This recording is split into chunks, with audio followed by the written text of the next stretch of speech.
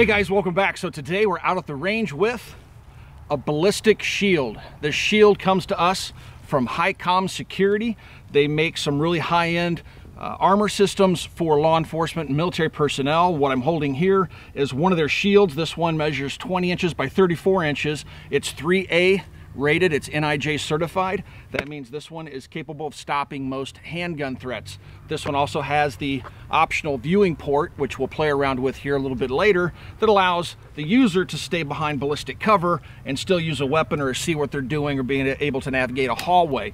Again, these are designed for law enforcement and military personnel. Uh, this shield that I'm holding here, the way that it's configured, it has a curvature to it, has the ballistic glass up here, and is in a uh, NIJ 3A certified. This one retails for right around 1800 bucks. You can option them different ways.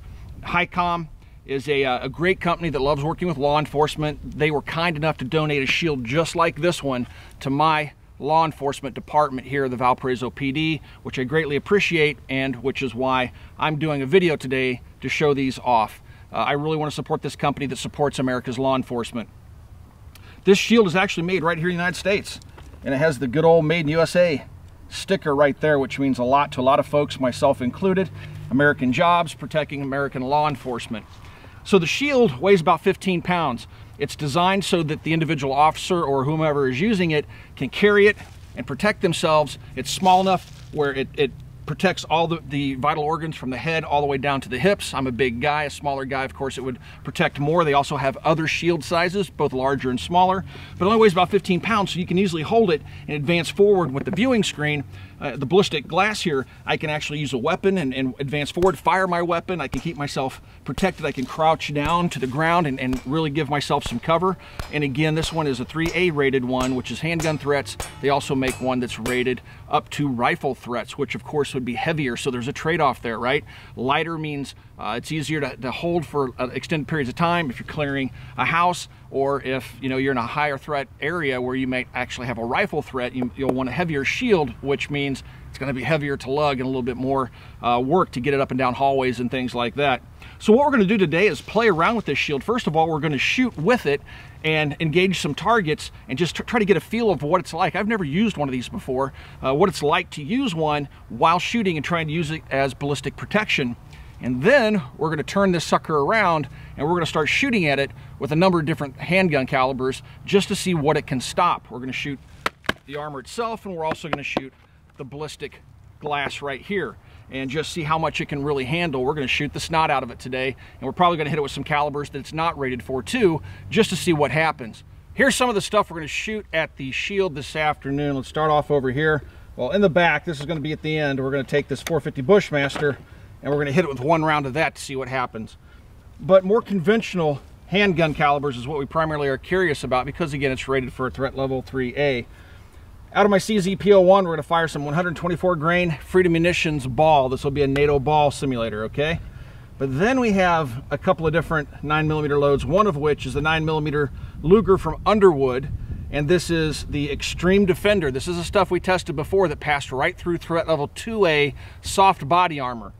We're gonna try some of that. This is the Plus P Plus. It has a 90 grain bullet. And then we also have some of the Liberty Ultra Defense 9 millimeter. This stuff has also been known to pass through to a soft armor. So we're gonna try these two really hot, lightweight, fast moving 9 millimeter rounds. Gonna shoot some 230 grain ball, some Freedom munitions out of the FNX 45, but we're also gonna fire some of them, uh, some of that ammunition out of this ump. This ump is manufactured, of course, by HK, except this one started off life as a semi-automatic, uh, just nasty looking thing. Thanks to TommyBuilt, it now looks like a proper ump. We're gonna also test it with this because this has a 16 inch barrel versus about a five inch barrel. Then we're gonna use 10 millimeter. Again, we're gonna use Freedom Munitions on the 10 millimeter. This is some 180 grain XTP ammunition. Going to do some 30 carbine, just kind of curious what's going to happen there. And again, we're going to use Freedom Munitions on the 30 carbine. And uh, this is 110 grain round nose load for the 30 carbine. Already talked about the ump. Then we're going to move over to the Origin 12. This bad beast, we're going to launch some Remington 12 gauge slugs. These are two and three quarter inch slugs with a muzzle velocity of 1800 feet per second. And the, the uh, slug itself weighs 7 eighths of an ounce. We're also going to use some of the Hornady Critical Defense buckshot. I believe this is nine pellet, uh, I'm sorry, eight pellet at 1600 feet per second. So we're going to hit the shield with that as well. And then last but not least, we're going to do the P90. We're going to use some of the Redbox 5.7 from FN and then some standard American Eagle as well. And that should be enough. These shields are light enough and small enough that you can use them to walk towards a threat. But you can also, because of this viewing port, you can stay behind cover and have a weapon and use it while you're even walking forward. Now I've been doing it with my CZ75. Now I'm going to do it with my B&T TP9 and see how well I can do it. This thing's just a little bit heavier than your average handgun, but I still should be able to shoot it as a handgun. So you can get behind the shield, use the viewing port, you can cover your vital areas with the shield. Legs, of course, are, are exposed, but now you can walk forward and with this viewing shield, which is a ballistic shield right here, you can still aim the weapon and advance.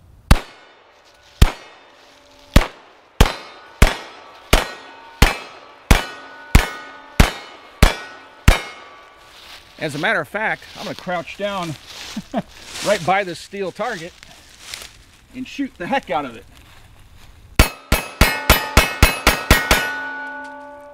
So these things are pretty darn handy. They only weigh about 15 pounds. You can see how it supports your arm. You have the option to put a sling on it as well if you would like to. And it works right or left-handed. You can see that it works left-handed as well. Or you can support it like this. Pretty cool. You know, it's only once in a lifetime you get out to the range with a uh, ballistic shield like this and a challenge target dueling tree. Let's see how well I can work that dueling tree while behind the cover of the HighCom shield.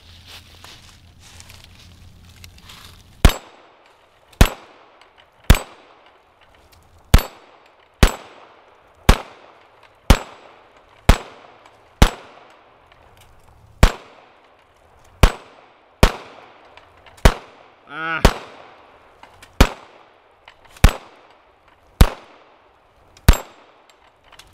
Well, I had to screw it up twice out 18 rounds, not too bad. This thing does get a little bit heavy. You can kind of rest it on your hips if you had to for a stationary period of time. But uh, yeah, it's kind of funny trying to hold 15 pounds out there and hold a gun sideways. You have to hold it kind of like that. But uh, yeah, I can still work the dueling tree okay. I wouldn't say I did exceptionally well, but no complaints here. We have the HighCom shield just resting against a tree here. This allows a little bit of freedom of movement as if it were being held by somebody on the other end, right? So when you hit it, it's not firmly originally mounted to anything solid. It will flex just a little bit.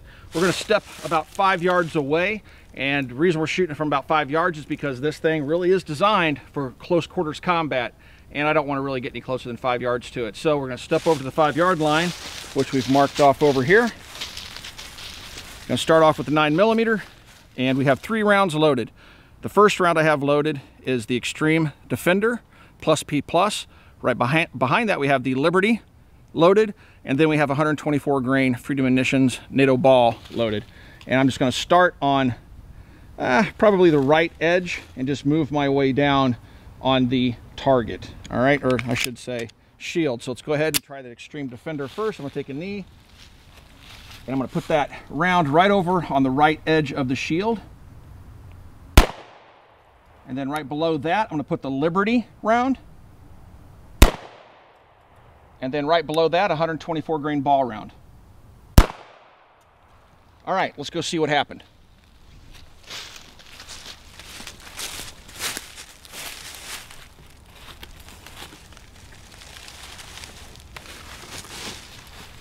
Now this is pretty interesting, guys. So you can see that the protective plastic back here, it's anti-spalling, broke, but the round hit right here. That was the Defender, and it did not penetrate, did not make it through. Right below that, right here is the Liberty round. It hit right here next to where the armrest is, and again, it did not penetrate. Right below that is where the 124 grain ball round hit. Hit right here, cracked, but did not penetrate. So it stopped all three threats from five yards. All right. Now we're going to move over to 45 ACP. I have an FNX 45 and I'm going to shoot a 230 grain ball round, Freedom Munitions. I'm to shoot just to the left of those 9 millimeter rounds.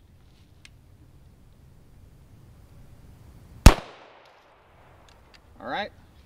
Now I'm to take the exact same 230 grain ball round. I'm to put it into the ump, which has a 16 inch barrel. I'm to put it just below that first 45 round.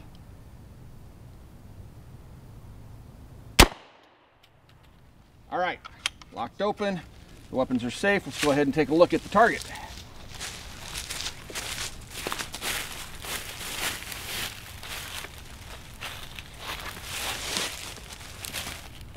Okay, so here's where the 245s hit. This is out of the FNX pistol, and this is out of the ump. No penetration at all. Let's just go ahead and get this out of the way because really there's no need for it anymore. I've pretty much destroyed this shield.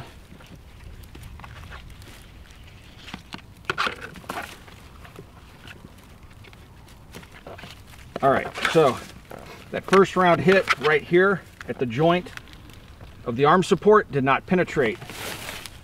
The second 45 round hit right here. You can see where it kind of bulged out. But again, zero penetration. So, yeah, seems to be holding up pretty well.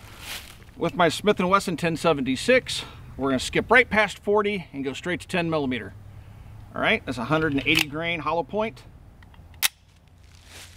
I'm going to put it right below those 45 rounds.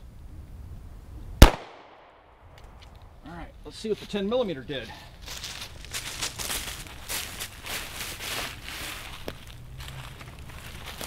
Ten millimeter hit right here. Turn it around. The anti-spalling, cracked, no penetration. All right, shield's holding up pretty darn well. Now we're going to shoot the viewing port. We're going to use 9mm to do that. We're going to use the same stack that we did when we first started shooting the shield with 9mm. First off, I have the Extreme Defender. This again is the bullet that defeated 2A soft armor. Right below that we have the Liberty ammunition 9mm, which has been known to defeat soft armor 2A in the past as well. And then the 124 grain ball. We're just going to walk across the, uh, the little viewing port there. Start off on the left hand side work my way right. That was the Extreme Penetrator. I'm sorry, the Extreme Defender. Here goes the Liberty. And then 124 grain ball.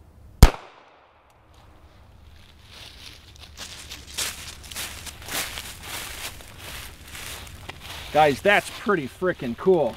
All right. Extreme Defender, Liberty, and 124 grain ball. stopped all three threats. There's a slight bow out here that I can feel. A little bit there and nothing here. So it looks like the 124 grain, I mean, it's, it's actually sticking out here on this side. The others went completely into the viewing port. This one has no bulge on the backside whatsoever. It's perfectly smooth. The Liberty slight bump. The Extreme Defender that bullet is hard to stop, guys. It's uh, It really wants to try to make its way through this 3A body armor. That's pretty darn impressive, though. That was cool. Now we're going to step outside the realm of what it's technically rated for. I'm going to take my M1 carbine that shoots a 30 caliber projectile, it's 110 grain bullet, and I'm going to shoot it on the left side, top left side of the shield and see if it can stop this little hot rod of a round.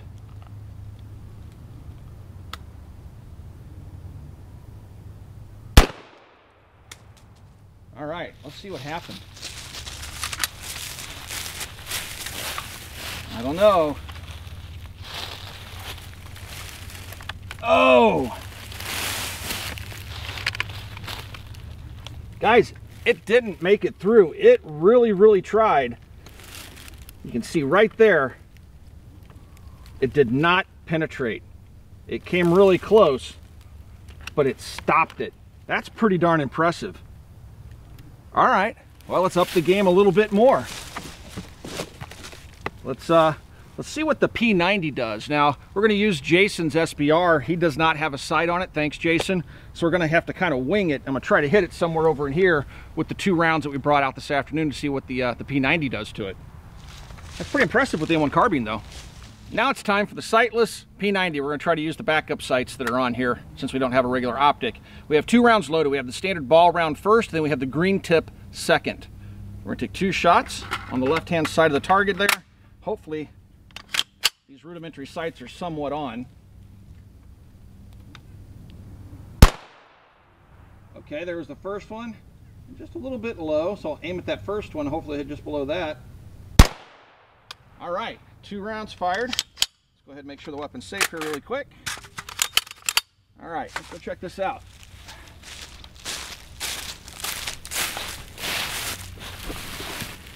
So here we go with the 5.7. First round was the ball round, and this is the green tip. Once again, it looks like we hit the structure with the first round right there is where it should be. It hit just below the support brace. No penetration. The second round hit right here.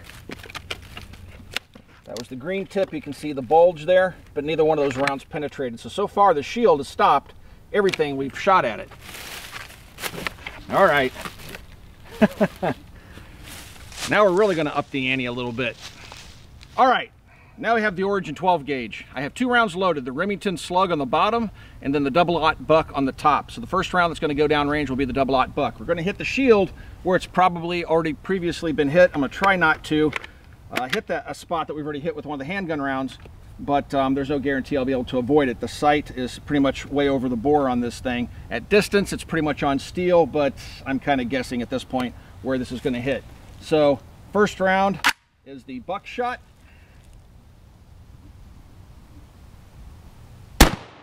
Oh! All right, I'm gonna aim really low and gonna put that second round towards the bottom middle will be the slug. Holy cow, man, that's some energy transfer. Okay, the weapon's safe, bolts locked to the rear. Let's take a look at this. Holy cow. So we definitely, with the buckshot, hit right on top of another round. Now keep in mind, we have eight pellets, guys, that hit in an area about this big. and it stopped it. That's unbelievable. It hit right here. You can see where all eight pellets hit right here, right behind the certification label, and it did not come through. Even more impressively, look at the size of the bulge on that, on the backside, the, the deformation from the 12 gauge slug. It hit right here. You can see how much it's pushed that armor in but check that out. Holy cow. It has stopped everything we have shot at it. I think I got a 5.56 in the car. We're gonna have to try that too. Man, that's impressive. That's cool. All right, guys, so now we're gonna try the 450 Bushmaster. This is a, uh, a 250 grain projectile, and the gun probably won't cycle because we have the suppressor off of it and it's set up for suppressor use. It has a scope on it. I'm gonna try to hit it in that little open area between where the double aught buck went and where the slug went. I don't know that I'll be able to do this because again, this is zeroed for 100 yards.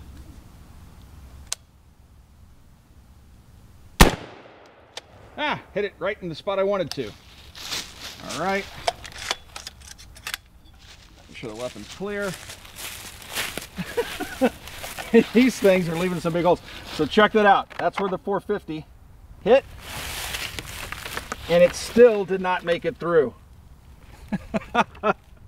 That's pretty impressive. The only thing I got left, guys, is a 5.56 in the car. So we're just going to go ahead and hit it with a 5.56 and see what happens. It's definitely capable of stopping all handgun threats and even some rifle threats like the M1 uh, carbine. That's pretty darn impressive. Let's see what 556 does to it, just out of curiosity. All right, guys, final test. Take some ZQI M855 ball. This is a NATO load that has the steel penetrator in the bullet. We're gonna go ahead and single load it into my BCM. Looks like we have a little bit of an open spot on the bottom left corner there. I have my DI optical red dot sight. I'm gonna talk about these here very, very soon. I'm gonna see if I can plant this round right in that bottom left corner. All right. This has to have gone through. So there's where I shot. And it went right on through. That's expected. But otherwise, guys, this shield has seen no penetration from any of the other calibers we shot at it this afternoon, including taking some straight on hits with rounds like the Extreme Defender that are known to defeat, to defeat 2A body armor. So I would say this sucker can really take a beating. And uh, now I know that my VPD, the guys that are at my local police department that are using these, have a good shield. That's really, really impressive. I hope you guys enjoyed coming out to the range with us this afternoon to do a little bit of shooting with and a little bit of shooting at the HighCom Ballistic Shield. Guys, I have to tell you, I'm thoroughly impressed with the performance of this shield. A couple of things really kind of surprised me the 30 carbine didn't make it through at such close range, and I was also impressed with the performance of the double-aught buck with all eight pellets hitting so close together at such close range, not doing more damage than either one of those did to the shield. As you can see, it's defaced pretty nastily on the back side here, but I'm still able to use the shield, still able to hold it. Let's see if I can still use it in a defensive situation.